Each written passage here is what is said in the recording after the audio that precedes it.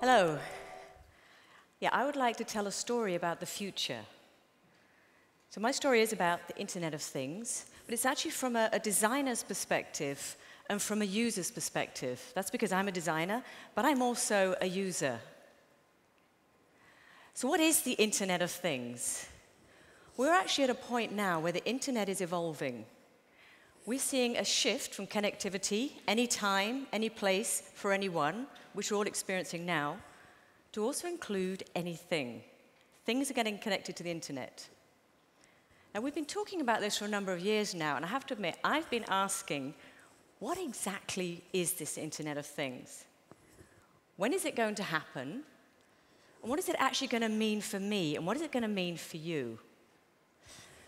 Now, there's a number of companies that are busy with this. Intel predicts 31 billion things are going to be connected to the internet by 2020. According to Cisco, it could be as many as 50 billion things.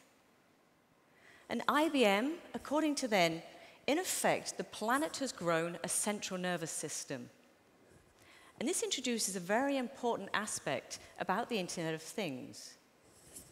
It's not just the things that are connected to the Internet, it's actually the data that they're creating and communicating with each other and communicating with us that's going to enable us to do some really interesting things with the Internet of Things. So I had a look around my home because the Internet of Things is apparently here already. And I have this camera, and I also have this energy monitor attached to the Internet. But I have to admit, a few months after I connected them, they actually lost their connection to the Internet. And they're actually still sitting there waiting for me to reconnect them. So it's not really very useful. This is one thing, though, that I would really love to have. These are LED colored light bulbs that you can actually control with your iPhone anywhere that you are. There's a number of different settings and controls that you can do, but it's up to you how you actually control them, which for me introduces another aspect. We've got the things, we've got the data, but it's about the people. What are the people going to be doing with this Internet of Things? And this is for me a very important point. And I think that in order for the Internet of Things to really be relevant for all of us, we need to actually change the way that we think. And we also need to change the way that we create. If we're going to design this Internet of Things for people. And one way that we can do this is using something that I call open tools. So rather than having this energy monitor, this camera, or the light bulbs, discrete individual products. Instead, we have a range of tools that communicate to each other. But they're also open so that people themselves can create what they want to do with them. And then I think what we're going to see is some very interesting applications that none of us can even imagine at the moment if we let the people be creative. And this is actually already happening. It's amazing if you look on the internet how many software and hardware there is now available for people to be creative with. So you can actually store and exchange your data already. There's a number of sensors, and there's also hardware that you can use to create your own applications connected to the internet. And there's some very creative people doing stuff with this. You're probably aware of the quantified self movement. If not, these are people who are using technology to monitor their bodies. So, for example, sleep patterns, uh, blood pressure, weight, temperature, many different things about their personal body. And they're using this to actually learn about their health and well being. There's also some fun application. There's a lot of people actually looking at putting this technology into clothing and connecting it to the internet. And here's a, a quick example. Okay, cool. Hi, I'm Ryan from Cute Circuit. We make interactive clothing, gowns that light up red carpets, shirts that hug you via text. Ballantines approached us to work in partnership with them on creating a new way to leave an impression. The idea is to innovate the t shirt, the original canvas of personal expression, by connecting it to the internet. It's called T Shirt OS.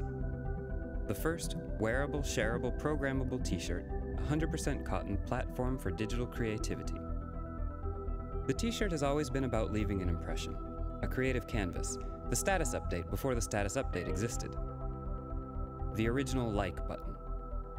Our goal is to develop the world's first commercially available digital t shirt, put it in your hands and over your bodies so you can go out there and leave an impression. If we can do it, would you want one? It's loaded with apps and tools. As big an LED screen as we can get, camera, microphone, accelerometer, and sound, all controlled from a big brain in the phone, via a small brain in the t-shirt. Connect that to the internet,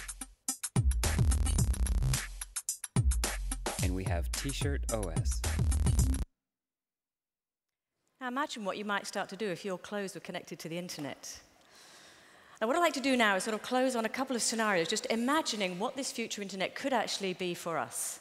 So, my first example imagine the shoe shop of the future. Now, a technology that I really like is 3D printing. I don't know if you know, but you can actually now buy a 3D printer for the home, although the quality is a little bit questionable. But Shapeways, a Dutch company, has just opened the Future Factory in New York, Long Island, New York. They plan to install 50 3D printers where consumers can print up to 50 million objects a year.